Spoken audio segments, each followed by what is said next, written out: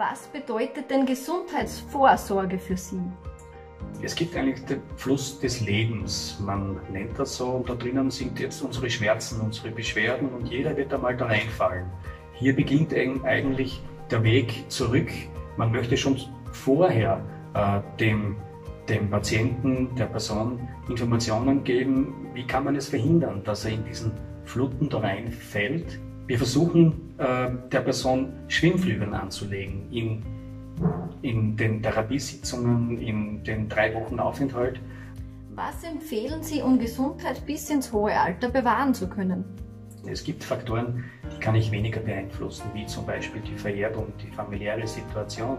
Aber trotzdem ist es wichtig zu wissen, welches Risiko habe ich. Und darauf kann ich auch einwirken. Und einwirken kann ich dann, indem ich das dann auch in meinen persönlichen Lebensstil einfließen lasse.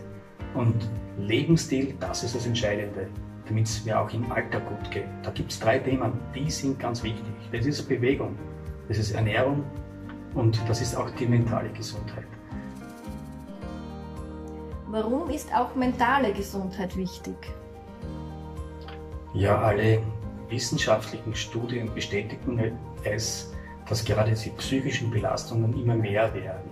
Und das ist einerseits eine eher jüngere Gruppe, diese Gruppe da zwischen 30 und 45, die auch noch in der familiären Organisation drinnen sind, auch im Aufbau von ihren Lebensumständen, äh, die sind immer mehr Druck ausgesetzt. Und andererseits aber auch die Bevölkerungsgruppe, die eher so diesen Übergang vom aktiven Leben im Berufsleben in dieses nicht-aktive äh, reinschaffen. Und, und da soll es eben wirklich Hilfestellungen geben. Da gibt es auch viele Dinge, die man selbst auch beeinflussen kann, wie die Tagesstruktur einfach.